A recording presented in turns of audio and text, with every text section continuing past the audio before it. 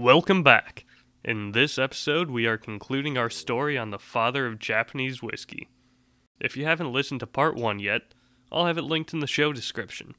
It's a great story of a man's unique passion leading him on a journey to a far off country, where he finds not only the knowledge and skills he was seeking, but also a woman that he loves.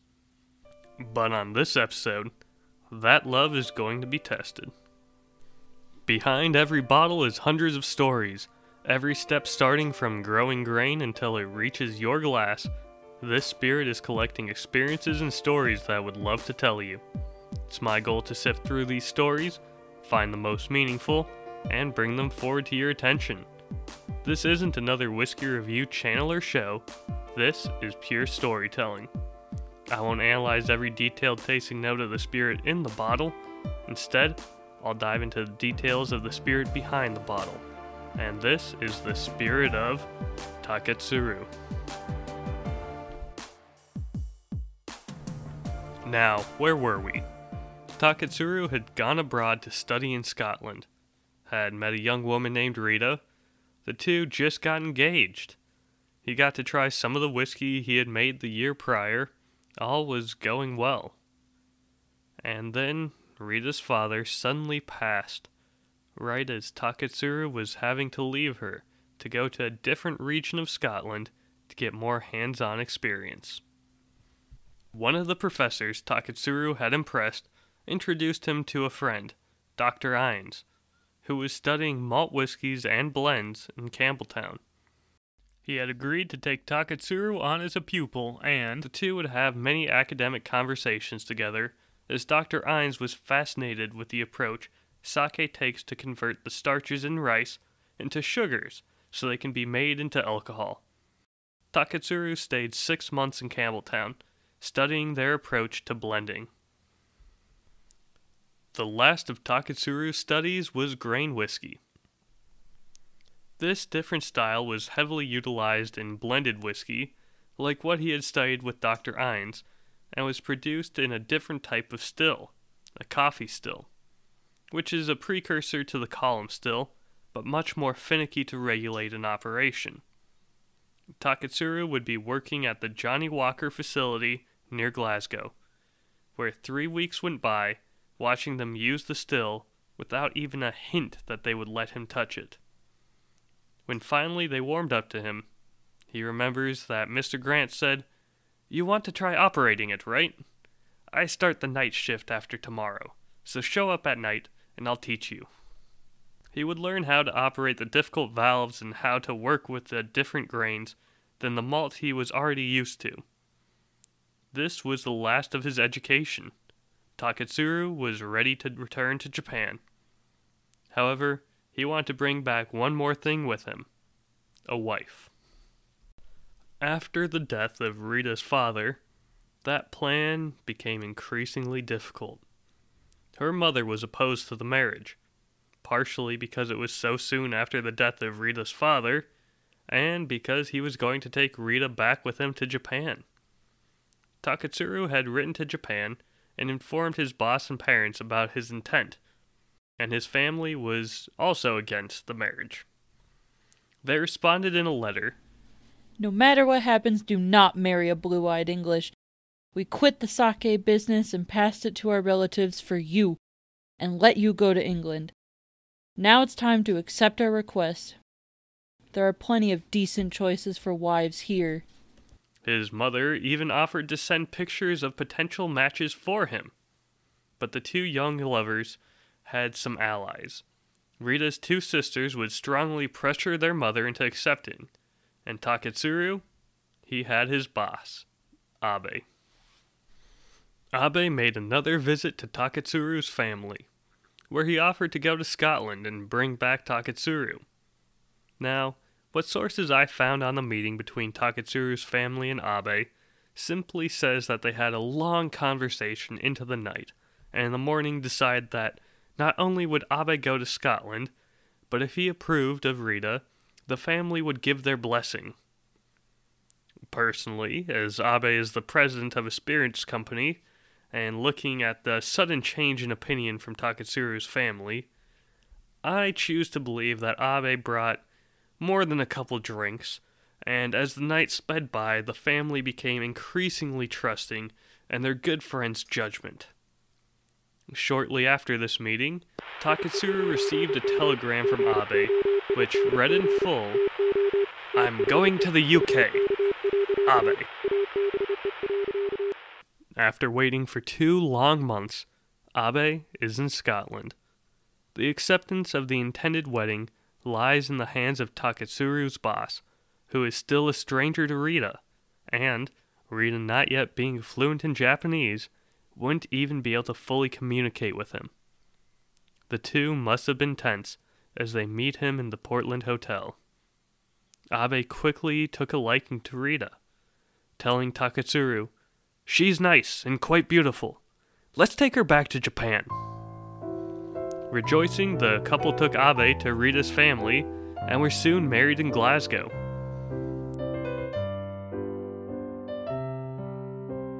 He would travel with Abe for a bit throughout Europe, acting as a guide in some spots and seeing how the now ended World War had decimated others.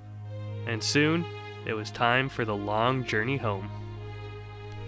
The three travelers, Taketsuru, Rita, and Abe, retraced his original journey, going by ship, this time in a straight line, to New York, then a train to California. They would not get the chance to view the wineries, as America had made a big change. It was 1921, Prohibition was in full swing. Having no reason to linger in America then, they immediately left for Japan. The second ship of the journey landed them in Yokohama, then off to Tokyo. On this leg of the trip to Tokyo, a confused Rita saw rice fields for the first time. Abe even had a home already lined up for them, complete with a Western style toilet to make Rita feel at home. It had been agreed that of the 150 yen per month that Taketsuru would be paid as a chief engineer, 55 would go to the monthly rent of the house. However, Taketsuru's dream of making whiskey in Japan still wouldn't be easy to turn into reality. The liquor industry was hurting worldwide post war, and the company, Settsu Shuzo, was hit hard. Now wasn't the time to start a new venture, especially one like whiskey, where it needs to mature for years before a profit could be made. Taketsuru pleaded with Abe, even proposing a scaled down plan to give him a small pot still in an empty warehouse for production. Abe brought this idea to the board of directors, not wanting to waste Taketsuru's potential. But they unanimously voted against it. Frustrated and disappointed, Taketsuru felt like he was not needed with the company if they wanted to continue to simply make the poor imitation spirit. So, in 1922, he resigned from the company, to which Abe responded, That's too bad. Taketsuru would spend the next couple months teaching chemistry, while Rita taught English, making ends meet until he could once again find an opportunity to chase his passion.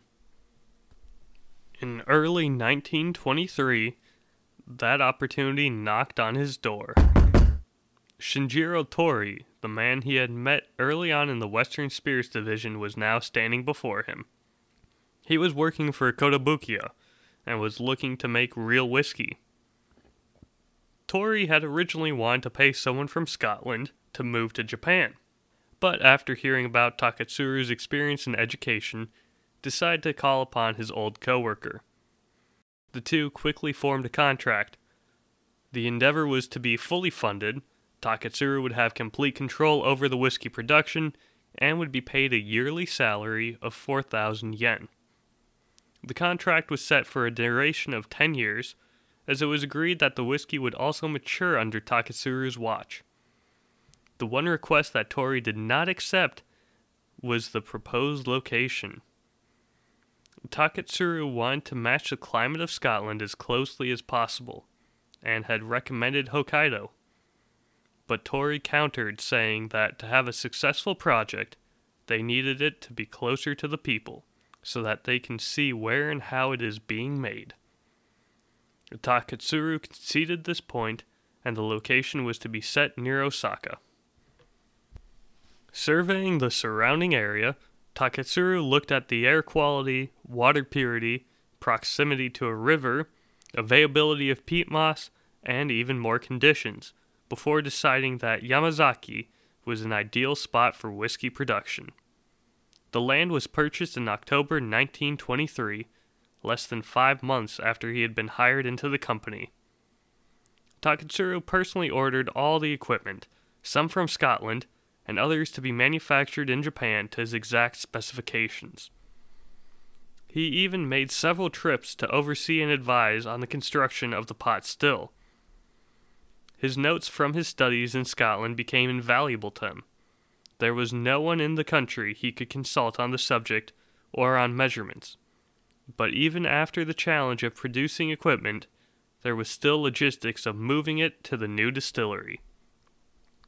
The still alone had to be shipped upriver, then moved by several horses, and needed special permission from the trains as the horses had to cross over the train tracks. The next big obstacle was the government. When they applied for a license to distill, the tax office didn't know how to classify it as no one had ever tried to make real whiskey before. Unwilling to make a decision, the local government sent the request to the Ministry of Finance. Even then, it wasn't until April of 1924 that they finally got the necessary clearance. When the distillery finally opened in November, it cost the company 2 million yen, or about $120 million, adjusted for inflation and exchange rate. But the government continued to be an obstacle, this time with taxes. In Japan, alcohol was taxed on how much was brewed, which isn't a problem for sake or beer, which is sold right away. But with whiskey, they would have to pay taxes immediately on whiskey that wouldn't even be close to being marketable for years, and on the original volume. A barrel isn't an airtight container. They can leak and cause a significant loss in product. And even if there are no leaks, a barrel will still lose 2 or 3% of its content a year to evaporation, which is known as the angel share. Which, in a 10 year old barrel, may mean a typical loss of 30 to 40%. And they would have already paid taxes on this lost product. So Taketsuru pleaded with a minister of finance, and after explaining this process to him, the minister agreed to change the tax structure for whiskey to one based on how Scotland taxed their distilleries. With all the equipment now in place and the government cooperating with them, Taketsuru could finally get to work distilling whiskey. After the first distilling season, he would return to Scotland with samples of his distillate to show Dr. Innes and to check some measurements his notes hadn't specified. Dr. Innes said that Taketsuru had done well, and after tasting the samples and asked some questions about how he had set up the production, Taketsuru returned to Japan and kept working to improve and mature his young whiskey. Soon, four years went by. The aged spirit was getting some color and had started to mellow out. Not Taketsuru's ideal, but he recognized that the company needed to release something to the public. So their first public release was bottled under the name Shirofuda Suntory. The bottle was not nearly the success that Taketsuru or Torii had hoped for. Taketsuru wanted to bring that strong peat smoke to Japan, and the young whiskey had not been able to spend enough time aging to keep the smoke from being too pungent, especially to the Japanese market that was not accustomed to that strong flavor. Fast forward another couple years to 1932. The oldest barrels are now about seven years old, and there is no shortage of whiskey aging. But a tragedy strikes Taketsuru as he loses his mother suddenly to an illness before he can even make it to her side. This sudden loss shakes Taketsuru to his core and makes him reevaluate where he is with his own goals in life. With less than a year left in his contract, he tells Torii that he intends to leave once it is up, and that he was going to try and create his own distillery. Something that he acknowledged wouldn't have been possible without Kotobukiya's influence. This separation also allowed Torii to make changes to the spirit that he thought were necessary, namely, reducing the smoke, to change the flavor profile to one that would be more acceptable to the Japanese palate. Making whiskey is a difficult endeavor, especially when you realize that a distillery needs to wait for years before it could be sold. And Taketsuru's flavors, well, they require more than the bare minimum to become the nuanced spirit that he envisions. If he wants to start up his own distillery, he needs a product that they can sell while he is waiting for the whiskey to mature. So Taketsuru decides fruit juice would be an easy product that could be sold quickly to help keep his new proposed company afloat. He convinced three of his friends to pitch in some money and got a working capital of 100,000 yen. He quickly decided that Yoichi would be an ideal location as he had his eye on the spot for some time before taking this leap. The location was near water and a port for shipping, had peat close at hand, and had fertile land growing an abundance of apples and grapes, perfect for his juice company to operate and grow into the intended distillery. Rita also welcomed the move. The climate and the landscape closely resembled her home of Scotland. She would even take the golf clubs she had brought with her and practice teeing off in the yard. Unfortunately, the juice business wasn't quite as easy as Taketsuru had hoped it would be. He had taken out a loan to start gathering equipment for whiskey production, but the business designed to keep him afloat while his whiskey rested in his barrel was struggling already. The juice company, named Dai Nippon Kaju, or Great Japanese Juice, was facing issues such as snowfall causing the glue used for their labels to mold, and slow turnover causing the juice to become cloudy and unappealing looking. The company was struggling, and the public knew it. Taketsuru was racing against the clock to get the whiskey production up and working before the juice would no longer support them. He finally started to get whiskey into barrels by 1936. They also started to release many more products to try and help diversify and keep the company holding on.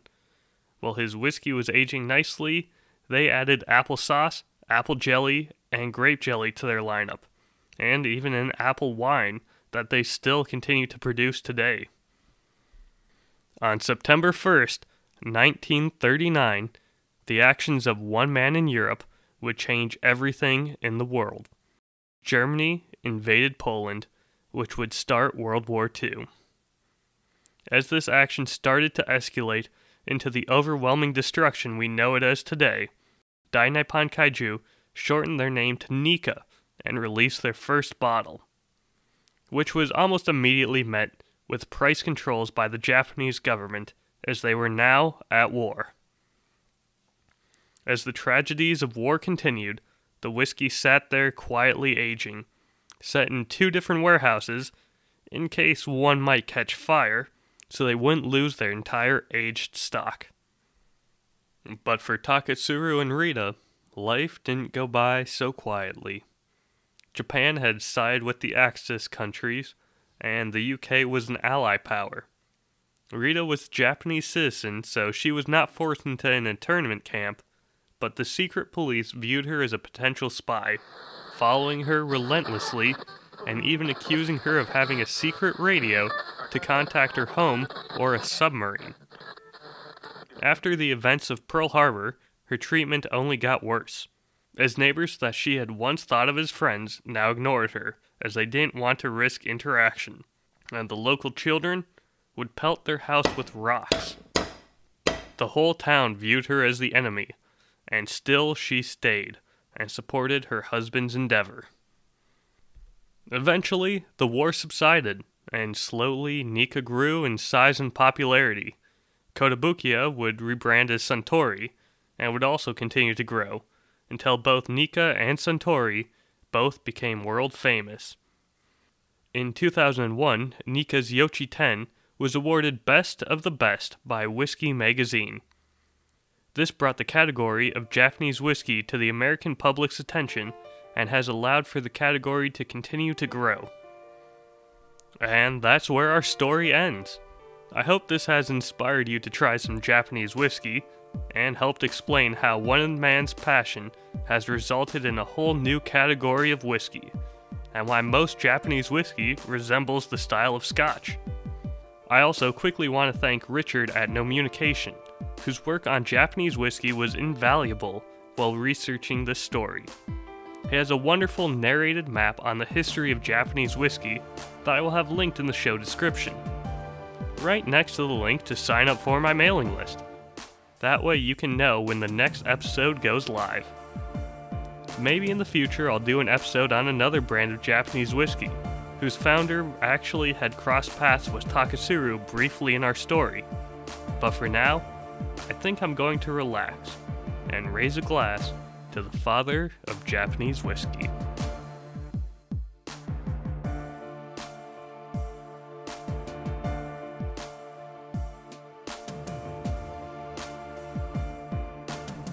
On the next episode of The Spirit of, we're going back to the founding fathers of America. There's a revolution, an uprising against the new government, one of the largest names in American history, and even his whiskey. I'll see you there.